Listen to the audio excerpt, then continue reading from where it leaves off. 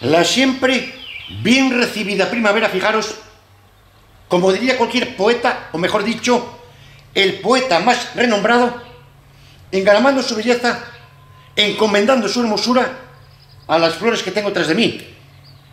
Flores, como veis, de un cerezo, del cual tengo la dicha de primeramente haberlo podido plantar y posteriormente haberlo podido injertar concretamente con la cereza francesa.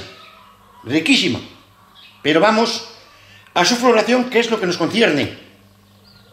Levanta esta un auténtico espectáculo visual, un auténtico espectáculo sin precedentes que no pasa desapercibido, por ejemplo aquí en el Valle del Jerte, donde ya ciertos turistas van cada año a contemplar dicho fenómeno y que posteriormente se transforman en sus frutos que suponen un pilar absolutamente fundamental en la economía de sus gentes con su cereza estrella, que es nada más y nada menos que la picota.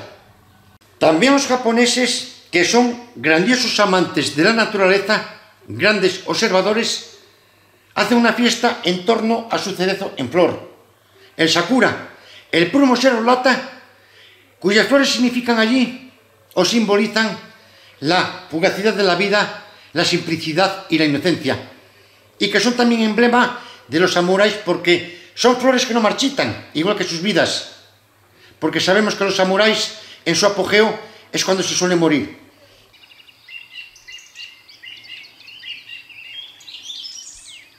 La floración se produce, dicen, entre marzo y mayo, aunque es relativo porque, veréis, no es lo mismo la floración de un cerezo que se encuentra, como es el caso, a 680 metros de altitud, que la floración de un cerezo que se encuentra a 1200.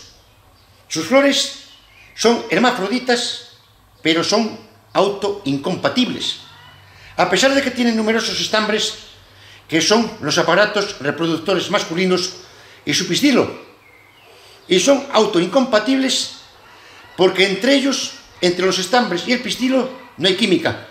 Necesitan seguramente estos árboles más información genética y por lo tanto dependen de una polinización cruzada.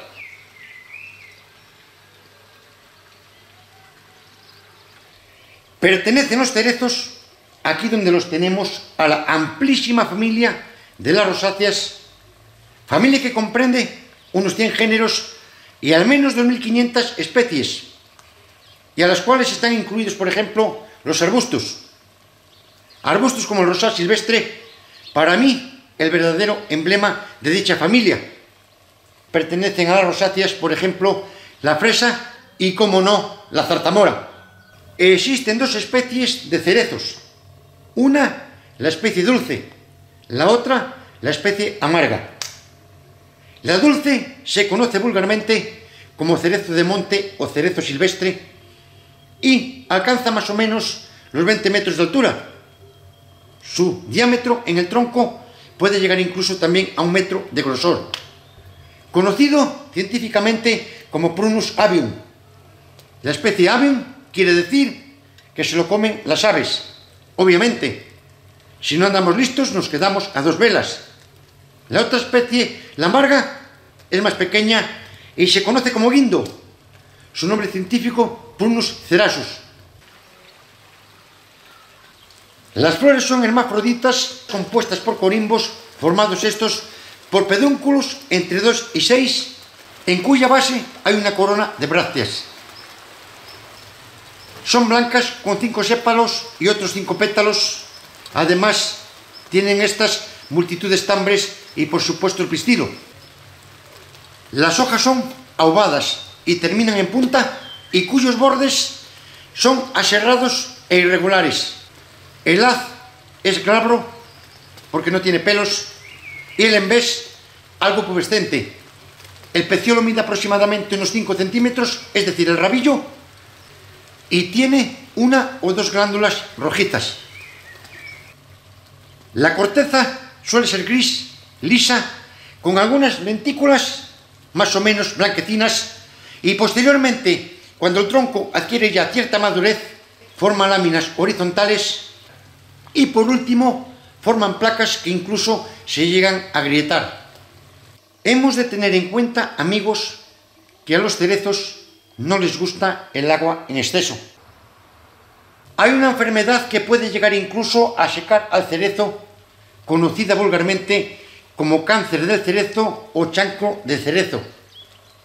Produce esta enfermedad una bacteria conocida como Pseudomonas syringae.